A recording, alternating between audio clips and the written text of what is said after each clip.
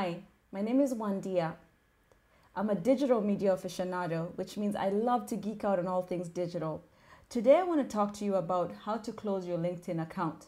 I don't know why you'd want to, but in the event that you do, it's really very simple, especially if you can log into your account. Once you're logged into your account, all you need to do is go to this top right hand corner, that's settings, right there. Click on settings. It takes you to this page and you would click on account down here and you click close your account. Now, if you don't have your, your password or your email, uh, you actually can go into your like say the LinkedIn, your pu public space, go to sign in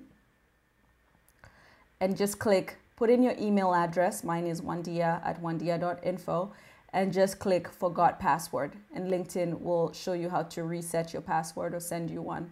Um, I have mine so and I'm already kind of logged in so um, you wouldn't it you know I, I don't need to um, I don't need to request it but uh, once if you really if you don't have your LinkedIn email address and password then you have to go to this URL here which is help.linkedin.com forward slash app forward slash ask forward slash subject. And then you put in that I uh, cannot find my LinkedIn password or username, and they will assist you from there. I hope that tip was helpful. If you need additional information, please feel free to reach me at www.wandia.info.